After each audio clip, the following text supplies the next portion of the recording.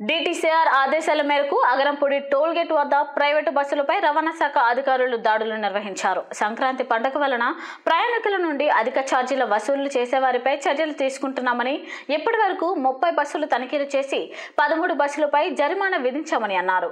Double driver లేకపోవడం extra ప్రయాణికులను ఎక్కించుకోవడం గుర్తించామని శ్రీకృష్ణ ఆరెంజ్ ఎస్ఆర్కేటీ ట్రావెల్స్ బస్సులకు జరిమానా విధించామని తెలిపారు.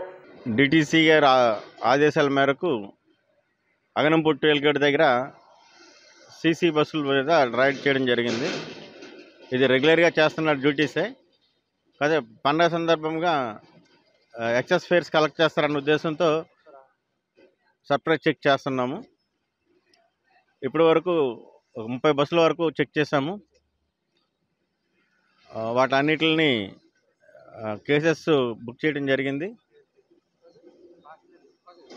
Mercantile goods excess fares collect చేస్తున్న వాళ్ళని పాసెంజర్స్ని ఎంక్వైరీ చేసి కేసులు రాయడం జరుగుతుంది.